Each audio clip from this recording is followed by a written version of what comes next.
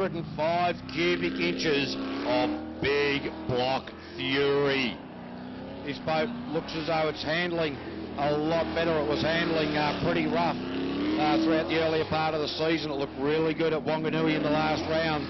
And uh, Rob Coley didn't spit the boat out. This is a boat to keep an eye on, ladies and gentlemen, because Rob Coley can uh, hang off that steering wheel quite dramatically from time to time and is always really exciting driver to watch.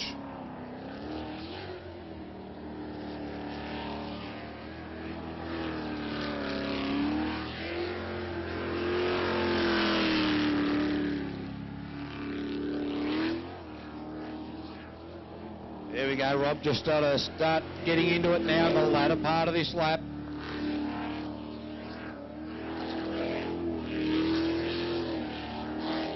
Oh, sort of uh,